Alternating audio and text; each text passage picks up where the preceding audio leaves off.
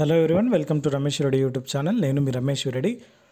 ఈరోజు కూడా మరో మంచి నోటిఫికేషన్తో మీ ముందుకు వచ్చాను. ఈ నోటిఫికేషన్కి సంబంధించి మనకు అప్లికేషన్లు అనేది ఆన్లైన్ ద్వారా స్వీకరిస్తారు. ఈ ఆన్లైన్ అప్లికేషన్ అనేది మనకు రేపటి నుంచే స్టార్ట్ అవుతున్నాయి. వీటికి సంబంధించి దాదాపుగా పదహారు వందల ఖాళీలతోని మనకు ఈ నోటిఫికేషన్ విడుదల చేశారు. ఈ పదహారు వందల ఖాళీలను ఉద్యోగాలని భర్తీ అనేది చేస్తున్నారు. ఇందులోపల మనకు టీచింగ్ నాన్ టీచింగ్ ఉద్యోగాలు ఉన్నాయి.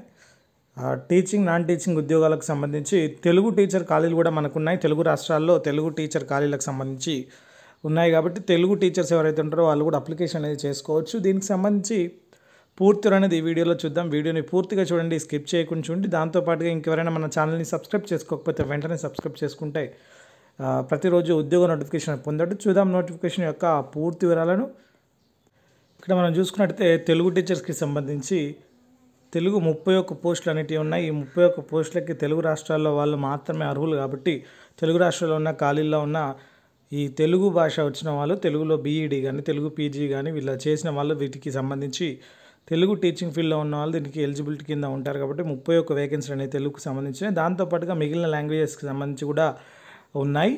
వీటితో పాటుగా ఇవన్నీ కూడా మనకు పర్మనెంట్ ఉద్యోగాలు. వీటితో పాటుగా వివిధ రకాల సబ్జెక్టులలో ఖాళీలు ఉన్నాయి. వాటికి సంబంధించి చూసుకున్నట్లయితే మొదటగా ప్రిన్సిపల్కి సంబంధించి గ్రూప్ ఏ ఉద్యోగాలు ప్రిన్సిపల్కి సంబంధించి మనకు టోటల్ పన్నెండు ఉద్యోగాలు అనేవి ఉన్నాయి. ప్రిన్సిపల్కి సంబంధించి దా వాళ్ళకి సంబంధించి ఆ ఉద్యోగాలు. అదేవిధంగా పోస్ట్ గ్రాడ్యుయేట్ గ్రూప్ బి ఉద్యోగాలకు సంబంధించి ఖాళీలు చూసుకున్నట్లయితే బయాలజీ వచ్చేసి మనకు నలభై రెండు వేకెన్సీలు ఉన్నాయి. కెమిస్ట్రీ యాభై ఐదు వేకెన్సీలు కామర్స్ వచ్చేసి ఇరవై తొమ్మిది వేకెన్సీలు ఎకనామిక్స్ ఎనభై మూడు వేకెన్సీలు ఇంగ్లీష్ ముప్పై ఏడు వేకెన్సీలు జియోగ్రఫీ నలభై ఒక వేకెన్సీలు హిందీ ఇరవై వేకెన్సీలు హిస్టరీ ఇరవై మూడు మ్యాథ్స్ ఇరవై ఆరు ఫిజిక్స్ పంతొమ్మిది కంప్యూటర్ సైన్స్ ఇరవై రెండు మొత్తం మూడు వందల తొంభై ఏడు పీజీటీ వేకెన్సీలు అంటే మనకు గ్రూప్ బి లోపల ఉన్నాయి.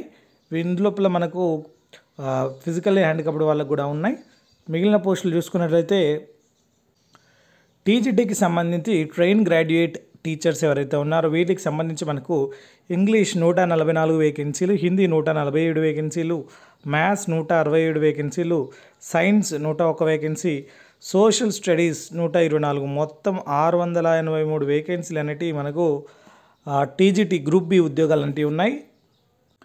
అయితే గ్రూప్ బి టీజీటీలలో మనకు లాంగ్వేజ్కి సంబంధించి థర్డ్ లాంగ్వేజ్ ఏదైతే ఉన్నాయో గ్రూప్ బిలోనే మనకు ఉద్యోగాలు ఉన్నాయి. దీనిలో అస్సామీ బోడో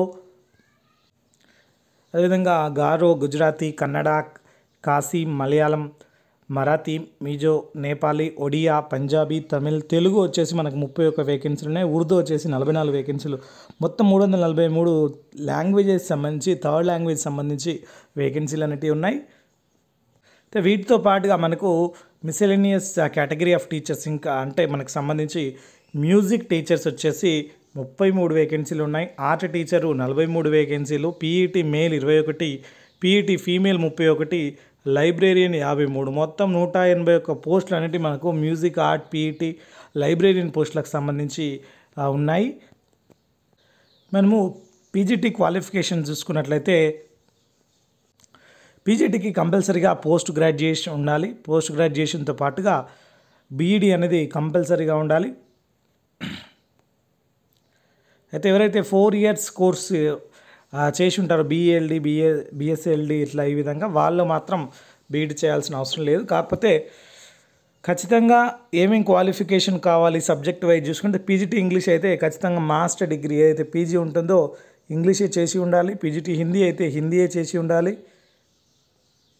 అదేవిధంగా పీజీటీ ఫిజిక్స్ అయితే ఫిజిక్స్ కానీ అప్లైడ్ ఫిజిక్స్ కానీ ఎలక్ట్రానిక్ ఫిజిక్స్ కానీ న్యూక్లియర్ ఫిజిక్స్ కానీ చేసి ఉండాలి. పీజీటీ కెమిస్ట్రీ అయితే కెమిస్ట్రీ కానీ బయోకెమిస్ట్రీ కానీ చేసి ఉండాలి. పీజీటీ మ్యాథమెటిక్స్ అయితే మ్యాథమెటిక్స్ అప్లైడ్ మ్యాథమెటిక్స్ చేసి ఉండాలి.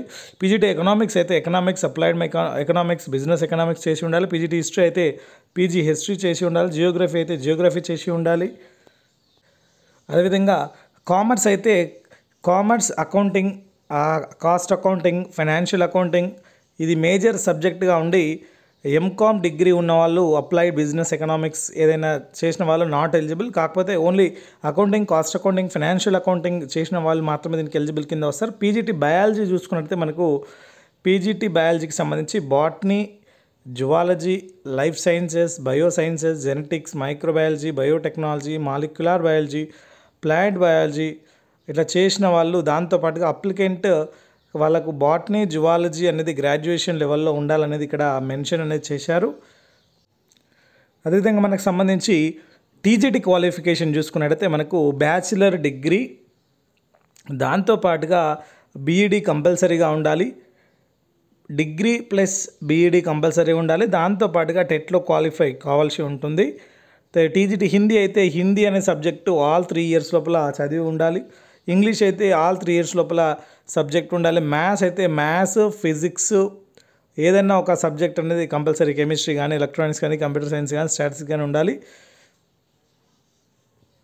పీజీటీ టీజీటీ సైన్స్ ఏదైతే ఉందో దానికి సంబంధించి బాటనీ జువాలజీ కెమిస్ట్రీ అనేది చదివేసి ఉండాలి. ఒకవేళ botany zoology and chemistry three ఇయర్స్లో ఖచ్చితంగా ఉండాలి. ఒకవేళ కొన్ని యూనివర్సిటీ లోపల ఫైనల్ ఇయర్ వరకు గ్రాడ్యుయేషన్ లోపల any two subjects out of botany అనేది ఇచ్చారు. Zoology and chemistry in the final year of examination and all the three subjects botany zoology and chemistry first and second year of graduation కూడా eligible అదేవిధంగా దీనికి సంబంధించి two years course కంపల్సరీగా subjects ఉండాలనేది మనకు mention అనేది చేశారు. సోషల్ స్టడీస్కి సంబంధించి చూసుకున్నట్లయితే సోషల్ స్టడీస్కి సంబంధించి చూసుకుంటే మనకు టూ సబ్జెక్ట్స్ ఖచ్చితంగా ఉండాలి. దీని లోపల history geography economics political science కానీ geography with history economics political science కానీ ఏవైనా సబ్జెక్ట్స్ కంపల్సరీగా ఉండాలి. History geography as should have been study all the three years లోపల కంపల్సరీగా హిస్టరీ కానీ జియోగ్రఫీ కానీ చదివి ఉండాల్సి ఉంటుంది. ఎవరైనా వేరే హానర్స్ డిగ్రీ అయితే economics political science geography two years of the కోర్స్లో ఉండాల్సి ఉంటుంది. థర్డ్ లాంగ్వేజ్ చూసుకున్నట్లయితే మనకు ఖచ్చితంగా వాళ్ళకి ఫిఫ్టీ పర్సెంట్ లాంగ్వేజ్ అనేది regional language as a subject elective subject అనేది త్రీ ఇయర్స్ లోపల కంపల్సరీగా ఉండాలి. లేదా ఎవరైతే ఫిఫ్టీ పర్సెంట్ మార్క్స్ కంపల్సరీగా ఉండాలి. అండ్ ఖచ్చితంగా అందరూ సీటెడ్ క్వాలిఫై అయిన వాళ్ళే టీజెట్కి ఎలిజిబిలిటీ కింద ఉన్నారు. బీఈడి డిగ్రీ కంపల్సరీగా ఉండాలి. ఇంగ్లీష్ అండ్ హిందీ లాంగ్వేజెస్లో టీచ్ చేసే కెపాసిటీ అనేది కంపల్సరీగా ఉండాలి. రెసిడెన్షియల్ స్కూల్లో ఉండ ఎక్స్పీరియన్స్ ఉన్న వాళ్ళకి ప్రిఫరెన్స్ అనేది ఇస్తారు. అదేవిధంగా మనము మ్యూజిక్ టీచర్కి సంబంధించి చూసుకుంటే five years study in music institutions or bachelor degree with music or higher secondary music దాంతోపాటుగా degree diploma awarded by Prachin Kala Kendra Chandigarh విధంగా మనకు ఉన్నాయి వీటితో వర్కింగ్ ఎక్స్పీరియన్స్ వాళ్ళు ప్రిఫరెన్స్ అనేది ఇస్తారు. అదేవిధంగా ఆర్ట్కి సంబంధించి చూసుకుంటే వాళ్ళకు ఫైన్ ఆర్ట్స్ అనేది చేసి ఉండాలి డిప్లొమా కానీ ఫోర్ ఇయర్స్ డిప్లొమా అనేది.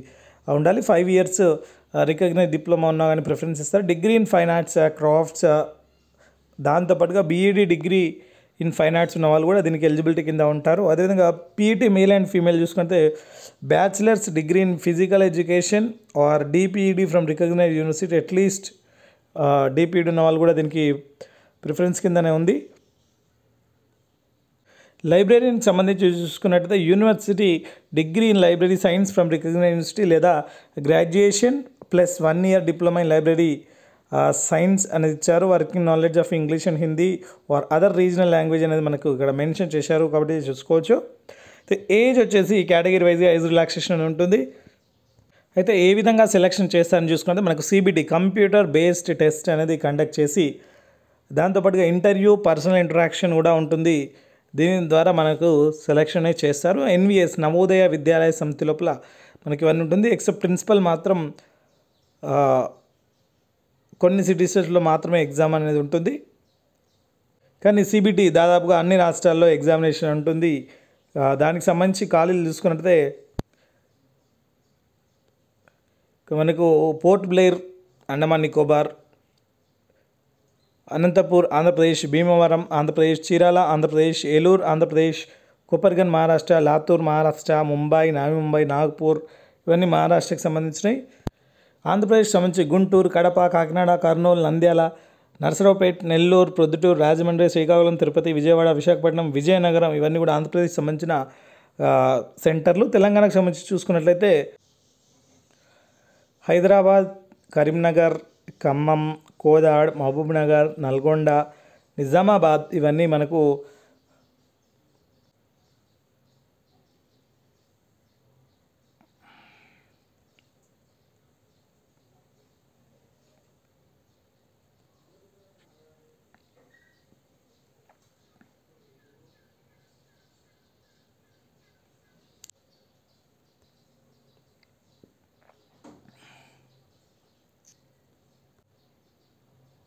పీజీటీ పోస్టుకు సంబంధించి చూసుకుంటే మనకు general awareness reasoning ability ICT teaching aptitude మనకు సంబంధించిన సబ్జెక్ట్కి సంబంధించిన సిలబస్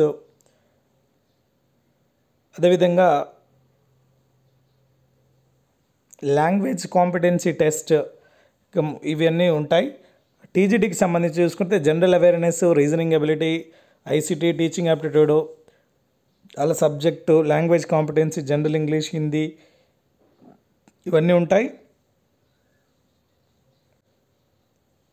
ఇంపార్టెంట్ డేట్లు కనుక చూసుకుంటే అప్లికేషన్ అనేది మనకు రేపటి నుంచి మొదలవుతున్నాయి. అంటే సెకండ్ జూలై రెండు వేల ఇరవై రెండు నుంచి మొదలవుతున్నాయి. లాస్ట్ డేట్ వచ్చేసి ట్వంటీ సెకండ్ జూలై అది మనకు చివరి తేదీగా ఉంది. అప్లికేషన్ ఫీజు కనుక చూసుకుంటే ప్రిన్సిపల్కి రెండు వేలు పీజీటీ పద్దెనిమిది వందలు టీజీటీ అండ్ మిగిలిన టీచర్ పోస్టులకి పదిహేను వందల రూపాయల ఫీజు అనేది ఉంది.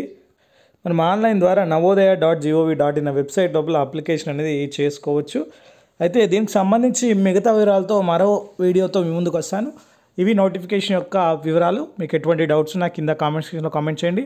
రేపు లింక్ ఓపెన్ కాగానే మీకు లింక్ అనేది డిస్క్రిప్షన్లో ఇస్తాను. Thank you for watching. Please subscribe my channel and all the best.